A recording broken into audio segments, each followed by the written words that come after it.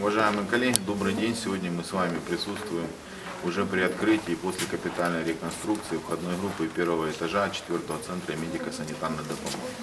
Мы с вами здесь были все вместе несколько недель назад, когда еще работы происходили на инспектировании. И сегодня мы можем уже заявить ответственно о том, что работы закончены, работы закончены качественно и в срок.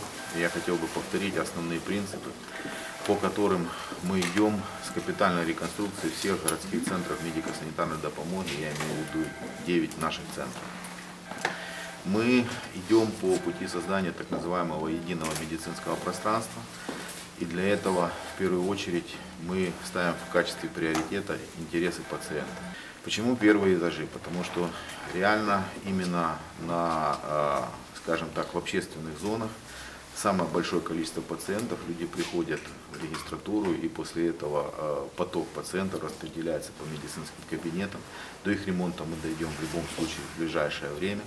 Но сейчас нам нужно сделать таким образом, чтобы люди, когда приходили за оказанием медицинской помощи, они чувствовали себя в цивилизованных условиях. При этом, естественно, мы э, в первую очередь обращаем внимание и на обустройство с точки зрения комфорта и удобства для маломобильных групп населения. Обратите внимание, везде проложена специальная тактильная плитка.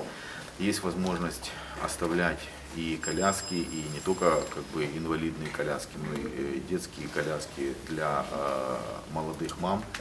Э, мы применяем в том числе для слабовидящих людей э, и шрифт э, Брайля, и как бы все остальные необходимые, скажем так, стандарты для того, чтобы маломобильные э, группы населения могли чувствовать себя комфортно. У нас потоки больных будут. Разделены. Да, они были, мы старались, но сейчас еще лучше. Вот отсюда, да, Да, да, да, и мы не будем пересекаться.